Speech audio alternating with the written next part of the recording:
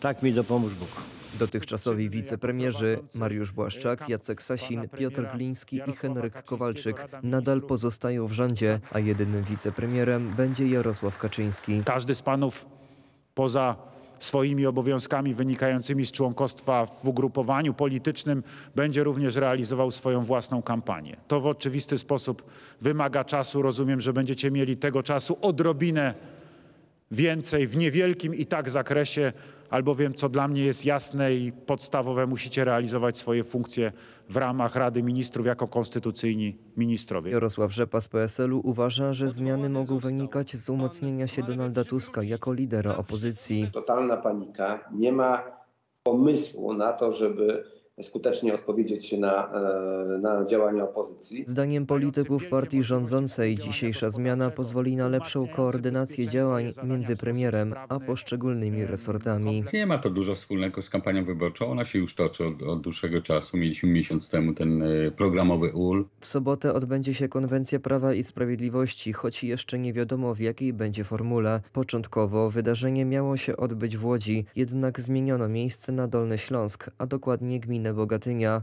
gdzie funkcjonuje kopalnia torów. Podczas ostatniej konwencji programowy UL ogłoszono m.in. waloryzację świadczenia rodzinnego 500+, do kwoty 800 zł. Ciężkość e, polityczna obozu Zjednoczonej Prawicy przenosi się do mm, Urzędu Rady Ministrów.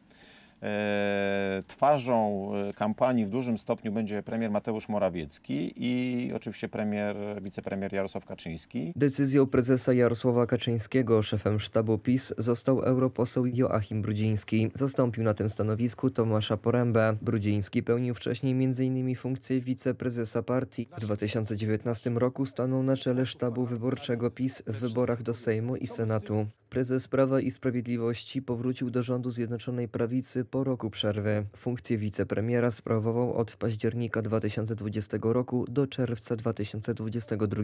Pełnił jednocześnie obowiązki przewodniczącego Komitetu do Spraw Bezpieczeństwa Narodowego i Spraw Obronnych. Prezes Kaczyński te wybory chce po prostu wygrać. Znaczy jest wiele procesów, które są w toku. E, Jest wiele procesów, które wymaga mm, jeszcze do, do, do, do, dopełnienia. Tak? I te kilka następnych lat, cztery powiedzmy lata, licząc od wyborów do następnych wyborów, jest konieczne. Jarosław Kaczyński jest głównym autorem ustawy o obronie ojczyzny. Zakłada ona m.in. zwiększenie liczebności Wojska Polskiego do 300 tysięcy żołnierzy i wydatków na obronność do 3% PKB. Tylko w zeszłym roku MON zakontraktował zakup sprzętu, w tym czołgów, myśliwców i systemów rakietowych za ponad 100 miliardów złotych.